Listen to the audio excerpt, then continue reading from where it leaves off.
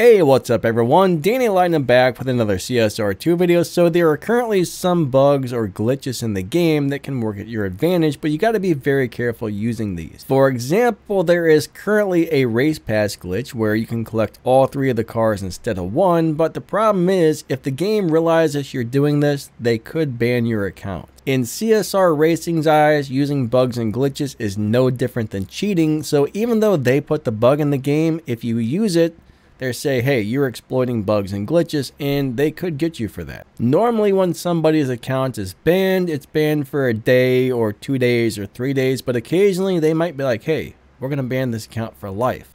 I guess it depends on how severe whatever it was you did was, or how often you're doing things you're not supposed to be doing, but I just want to remind you if you do decide to take advantage of some of the bugs or glitches in the game that works at your advantage, there is a chance they could get you. All right. Use bugs and glitches at your own risk. I just want you guys to be aware that you could possibly get uh, get hit for using those things. And I don't really want to see anybody lose their account. So yeah, I think that's going to wrap this up. Don't forget to like and subscribe. Click the little bell. Set those notifications to all for more awesome CSR2 content, game news, warnings, info, whatever it is. And if you can watch the entire video to the end when I post one, YouTube will say, hey, people are interested in this, and then they'll promote the video more, which can help my channel grow. So that would be a giant help.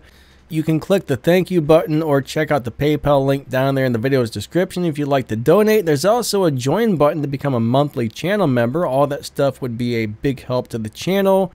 You'll also find a link to the Danny Lightning merch store down there in the video's description if you want to get some cool Danny Lightning gear. And no, my room doesn't really look this cool. It's just a green screen, guys. It's just a green screen. That's what's really behind me, and it's pretty boring. Actually, that's almost as boring as what my room actually looks like. So I figure something like this, or this, or this, or that thing right there it's probably a little better. Thank you guys so much for the support. I really appreciate you guys watching the videos, hanging out with me on live streams and all that good stuff. But I think that wraps this one up. Lightning out. Have an awesome day. See ya.